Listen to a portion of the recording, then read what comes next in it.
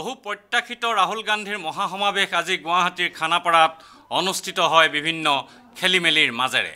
প্ৰায় বিছ মিনিট কংগ্ৰেছৰ যুৱৰাজজনে লক্ষাধিক কংগ্ৰেছ কৰ্মীৰ আগত ভাষণ দিয়ে। বিশেষকৈ মহিলা সবলীকৰণ যুৱ সমাজৰ উন্নতি আৰু দুখীয়াৰ বাবে কাম কৰাৰ কথাই কংগ্ৰেছৰ উপসভাপতিজনৰ ভাষণত স্থান পায়। অসমলৈ কংগ্ৰেছ চৰকাৰে শান্তি ঘূৰাই আনিছে বুলি সদৰি কৰি শ্ৰীগান্ধীয়ে কয় কংগ্ৰেছ থে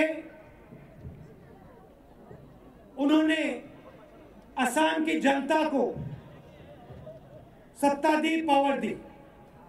वो आपके पास आए, आपसे बातचीत की, आपके गले मिले, आपसे गले मिले।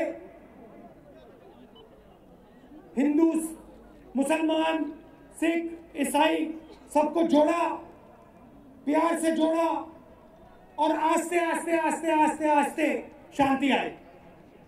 और इससे हम सबका फ़ायदा हुआ।